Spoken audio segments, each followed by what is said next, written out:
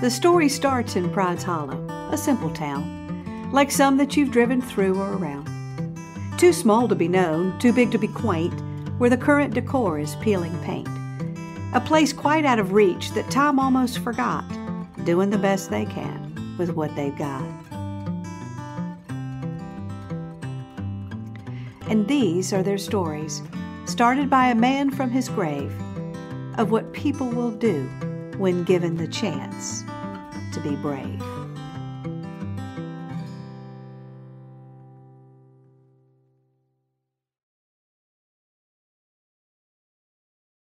When it came to Old Man Wither's challenge for people to be brave, I'm not sure it was Bitsy he had in mind. Bitsy never had an issue with courage. In fact, I think it's safe to say she could have used a little less courage and a little more thinking before jumping. I'm just saying. We all know how Bitsy's prone to exaggerate, and most of her stories contain about one kernel of truth buried under a pile of extraneous, questionable details. And finding your way to that kernel of truth, well, it's like digging through that junk drawer in the kitchen you hadn't cleaned out since the kids were born to find just one dad blasted rubber band. So I have to say, when Bitsy came busting into the front door of that beauty parlor, out of breath, and claiming that she had had a brush with death, well, we didn't jump out of our seats with worry. It's not like we don't care about Bitsy. We cared when she said she thought she had been poisoned by that lady whose parking space she took at the grocery store. And we cared when she got arrested at the Piggly Wiggly, and how was she supposed to know you're not allowed to dip your finger into the dressings to taste them first? And we cared when she was convinced the chemicals in her shampoo were eating through to her brain and she could no longer remember the words to her favorite Shania Twain song. So don't blame us for not reacting more gravely when Bitsy announced that she had almost died. We had been somewhere like this before. It was Saturday afternoon, and the place was buzzing over at Myrlene, Vyrlene, and Shyrlene's House of Beauty, where gossip is truth, big hair is a blessing, and tabloids are the second gospel. Like chickens at egg laying time, you could hear the high pitched chatter of those women all the way down the street. We have a special way of greeting each other down here. It's often prefaced with a couple of high squeals Girl, I hadn't seen you in ages. A few gushes, Why, you're absolutely glowing. Some giggles, yes, we had a nice honeymoon. And a smattering of various exclamations that we should get together for lunch. And oh no, she didn't say that right to your face. In the beauty parlor, there can be 30 conversations all going on at one time, and you'll still notice who didn't comment when you said your daughter got the lead in the play. She always was jealous. Women can have multiple conversations going on, interrupt themselves along the way, and still remember where they left off. And my husband walks into a room full of men at the gym and just nods and tips his head. He'll talk to his cousin on the phone, and then when he gets off, I'll ask him what he said, and he just shrugs his shoulders and says, Nothing. Nothing. The man has cancer. His daughter got busted for drugs at the prom. They're about to lose their house, and you got nothing? Let me call his wife. Women came here to Myrlene, Vyrlene, and Shyrlene's for more than just a trim or a color or a new do for their daughter's wedding. They came here to comment on the current administration, to complain about their kids, or brag, whichever felt better that day. They came here where somebody would notice that they lost a few pounds and not notice if they hadn't. A bride would come and get her last bits of premarital advice. Wait, last? Who are we kidding?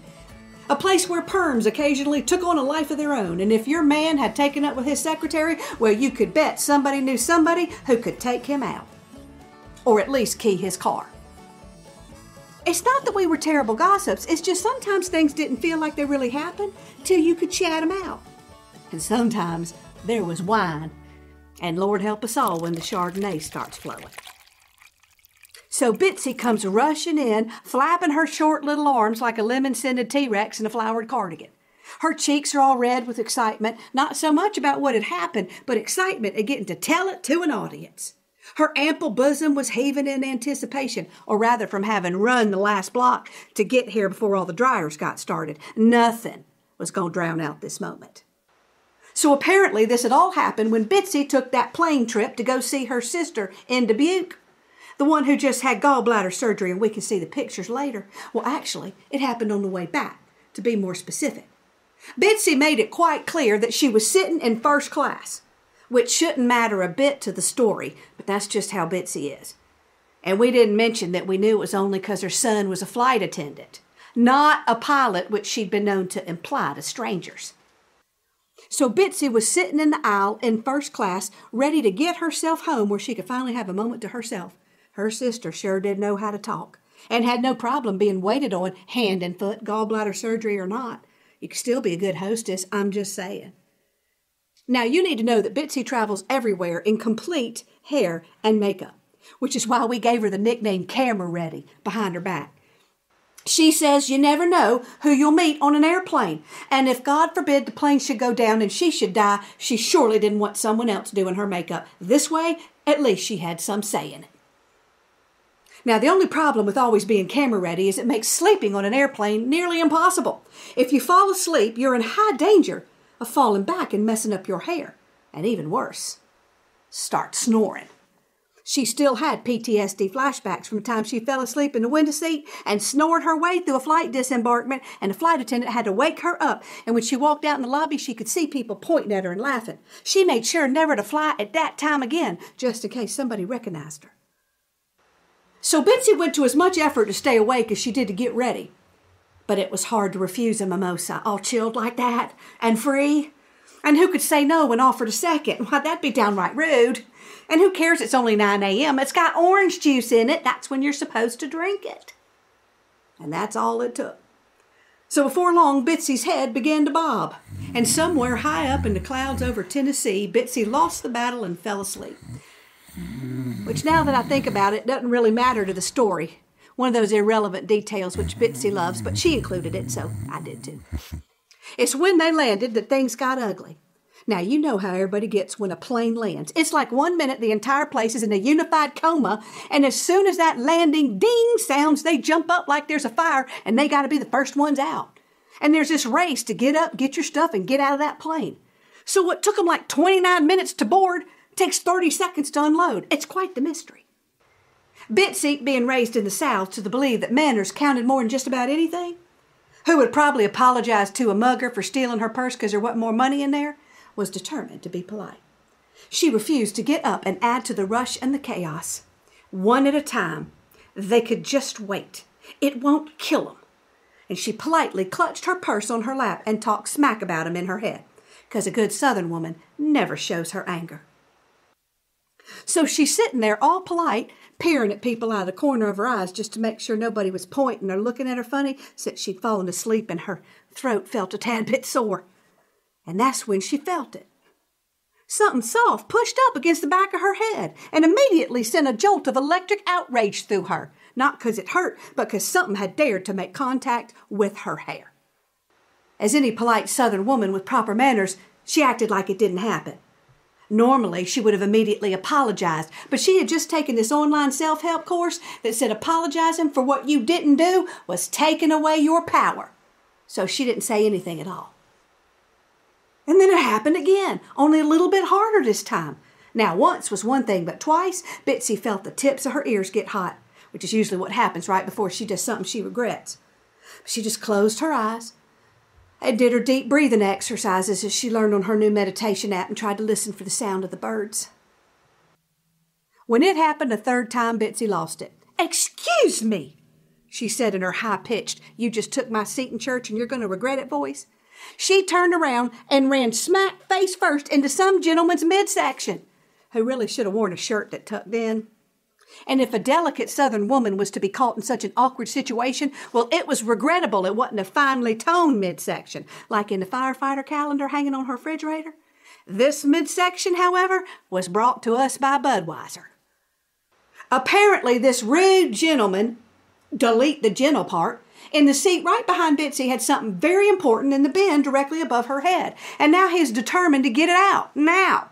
Why, you'd have thought it was top security clearance or something, way he was throwing his whole body into the task, grunting like a stuck pig, and ramming his midsection into Bitsy's face and head. Bitsy really didn't know what to do as the man was practically climbing over her head to get up in that bin, so she did what any self respecting Southern woman in her genealogical line would have done. She turned around and pretended like it wasn't happening. Denial was the go to of Bitsy's bloodline. She gently leaned up in her seat so he wouldn't think she was being rude to wait out this predicament. And she said a small prayer that her hair would look as full and as high as it did this morning. She always did like to walk off a plane looking like she was somebody famous. She'd even worn pearls like her life coach advised to truly show up in her life. She wasn't exactly sure what that meant, but she figured pearls showed up quite nicely. With one final grunt, the man behind her finally got a hold of his beloved bag, which you thought might have held a kidney or something way he was acting. But in reality, it was just a laptop computer. And if it was so important, well, you think he would have put it in the case, not just thrown that thing up there like he had money to throw around. Bitsy was so busy chewing him out privately in her head that she really wasn't prepared for what happened next. Well, how could she have been? It happened so fast, yet really slow at the same time, as brushes with death tend to go. Bitsy didn't even see it coming, but the others around, as they told her later, said they were all watching in slow motion horror while that man pulled out this giant computer, like oversized metal, huge computer, the lady across from her attested to. And just as he got it in his rude, grubby grasp, he lost his grip. But the computer was already en route, and you can guess exactly where it was headed. Yes, ma'am. Bitsy felt like she'd been hit by a train when that giant metal beast of a machine fell on top of her head. Not even flat, but the corner hitting her head, which is even worse, kind of like a metal torpedo coming right down on your skull. Bitsy heard someone cussing behind her, and the people started shrieking, She's been hit! Then a bunch of prickly stars floating around her head, and people's concerned faces peeking down over her, and they're all distorted, and then she fainted. Probably not so much from the pain as the trauma of it all. Being rolled out by a stretcher and a team of airport medics and security wasn't exactly the exit Bitsy had been planning. And She was incredibly embarrassed that they held up the disembarkment all because of her, which is just more of that southern guilt she was raised on. And she was simply horrified at the thought of what her hair might look like, and absolutely threw a fit when they said they needed to take a look at her head. And doughy midsection dude was nowhere to be found, of course, and Bitsy was pretty sure she was going to get her next flight free and a mimosa would have been nice. Could have made her feel better while they waited, make sure she didn't have a concussion. She kept insisting she was fine, which is unusual for Bitsy, as she usually lived for that kind of attention. She had passed all their tests and assured them she'd go to the doctor if she had any unusual symptoms, but she really needed to go. And she rushed out of that airport as fast as her plump little legs would take her. We all gave her the proper amount of shocked response from under our foil strips and dryers. It actually was a horrible thing to happen, and she could have been really hurt. We couldn't believe there wasn't any blood or anything really serious, and we asked why Bitsy, for the first time in her life, was she desperate not to have the attention, like she was embarrassed. Well, she said, I kind of was embarrassed, and my head really was hurting pretty bad, but I knew I was already okay because even though it hurt, I already knew what had broken the fall. And I'm pretty sure I'm alive today because of it but I couldn't really tell anybody.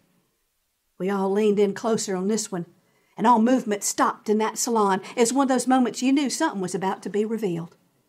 Bitsy took a deep breath and pulled something out of her purse. Why, why, it was big and brown and is shaped like a banana and covered in Velcro. My bumpit saved my life, she said, with a tear running down her cheek. Some of you might be confused, but others of you are already singing the as seen on TV jingle about the miracle of the bumpit. And some might have one in the back of that hair drawer still to this day. You see, the bumpit is a contraption that you put under your hair on top of your head to give it more lift, which is kind of an understatement, as some women were able to really supersize their bumpit and generate hairdos that could house a family of birds in there. Miss Eulalie had one so high she couldn't fit it in her car when she left and had to walk home. So that day on the airplane, when the computer had come spiraling down like a missile at Bitsy's head, the bumpit had risen to the occasion and protected her delicate crown, like a Bible held up from the breast pocket of a valiant Civil War soldier that had stopped the bullet. We all closed our eyes for a moment of silence. She, of course, couldn't tell the medics that she'd had some assistance that she wasn't born with.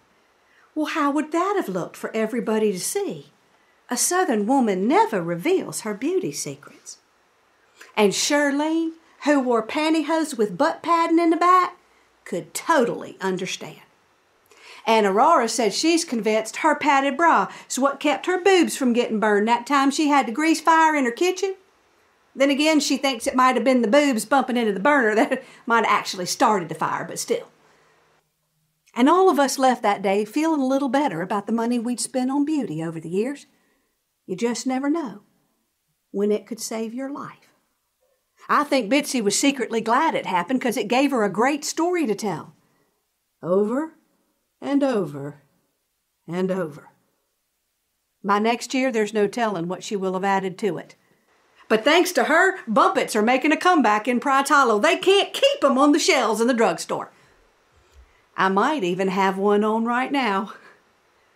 But I'll never tell.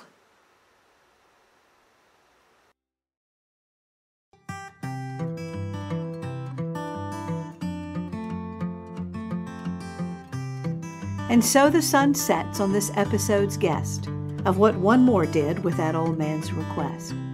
But soon I'll be back with a new tale to unfold, for there are many more stories still left to be told. For this challenge has started with no end in sight as each person closes their eyes and takes flight. But until next time, maybe you'll find the chance to close your eyes and join in the dance. Maybe this story whispered from that old man's grave will push you to find out what happens when you choose to be brave.